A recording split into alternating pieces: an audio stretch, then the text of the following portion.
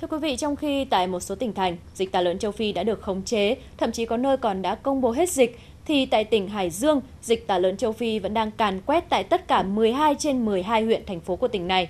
Hiện chỉ còn 70 xã trên 264 xã phường chưa xuất hiện dịch. Trước sự lây lan của dịch bệnh không có thuốc chữa này, không ít địa phương đã bất lực và đứng trước nguy cơ bị xóa sổ phần lớn đàn lợn. Sau đây là ghi nhận của phóng viên VTC16 tại xã Thái Dương, huyện Bình Giang của tỉnh Hải Dương, nơi đang có đàn lợn nái bị xóa sổ lên tới hơn 80%.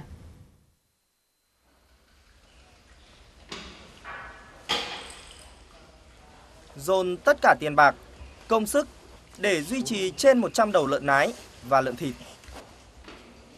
Thế nhưng nay, gia đình anh Thanh đang phải bất lực chứng kiến đàn lợn trị giá hàng tỷ đồng chết lũ lượt như thế này vì mắc tả lợn châu Phi. Rất chỉ là đau xót, tiếc, tiếc trước cho cái công sức của mình bỏ ra.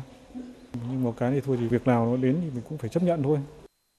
Vay vốn của ngân hàng và tất cả mọi thứ đầu tư vào đây là gần như là mất trắng hết rồi. Sau cái cái đợt dịch này thì không biết là sẽ làm gì và sẽ sống và như thế nào.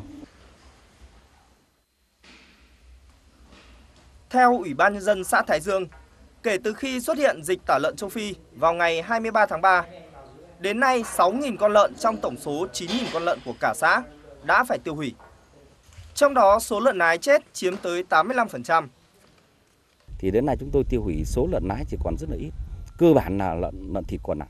Như vậy thì lợn nái là cái lợn mà xâm nhập cái bệnh này đầu tiên và nguy cơ chết rất nhanh. Chết rất đột ngột, có thể đang rất khỏe, đùng cái năn ra là chết mà riêng cái đợt này chúng tôi xác định là chưa bao giờ chúng tôi thấy rằng có một cái đại dịch nó lớn như thế này.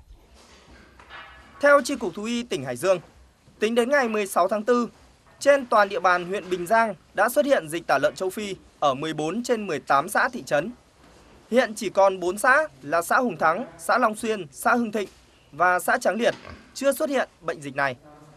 Tổng số đàn lợn phải tiêu hủy là hơn 8.650 con, trong tổng đàn 32.600 con tại gần 900 hộ dân.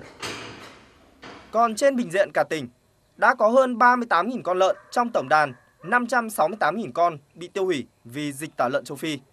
Trong đó, nhiều đàn lợn nái đã và đang bị xóa sổ. Chăn nuôi lông hộ chúng ta thì mỗi hộ thì cơ bản là nuôi từ có nhà thì một con nái, nhà đến 5 con nái, trừ những gia trại thì người ta sẽ nuôi từ 10 đến 15 con nái thôi. Do vậy là để chủ động tự chủ động con giống trong thời gian tới là hết sức khó khăn. Sau nhiều năm chăn nuôi, tài sản còn lại lớn nhất của anh Thanh lúc này là những ô chuồng và những cuốn sổ ghi nợ ngân hàng lên đến 500 triệu đồng. Những ô chuồng như thế này cũng đang dần bị đập bỏ để chuyển sang nuôi gà và các loại gia cầm khác.